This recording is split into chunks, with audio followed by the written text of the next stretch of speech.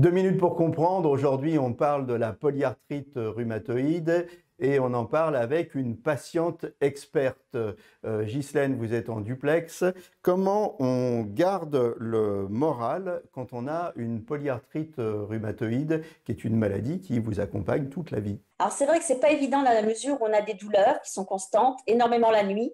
Et je dirais qu'il y a un paradoxe qui est que dès que l'on trouve une petite brèche dans laquelle la douleur euh, n'est plus présente, euh, on ressent une sorte, enfin personnellement, une sorte de bonheur et de joie.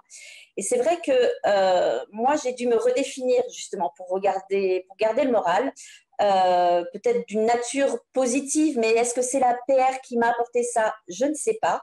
Je me donne en tout cas régulièrement des objectifs, des objectifs de vie je m'oblige à garder un lien social pour garder le moral. Il est hors de question que je ne vois plus ni mes amis ni la famille. Et puis également, se créer des activités de plaisir. Pour ma part, c'est la peinture, d'autres, ça va être le jardinage, faire les choses, mais à sa portée.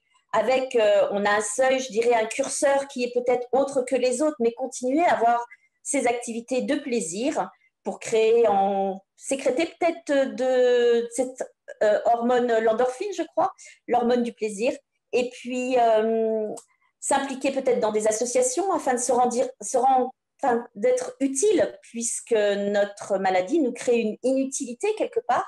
Donc, euh, avoir un lien du bénévolat peut également aider.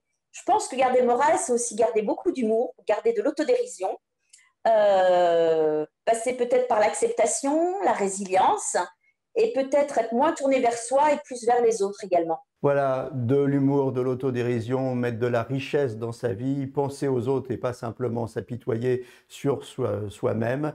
C'est euh, les recettes du moral et du bonheur de Ghislaine. Merci beaucoup d'avoir été avec nous. À très bientôt et d'ici là, portez-vous bien.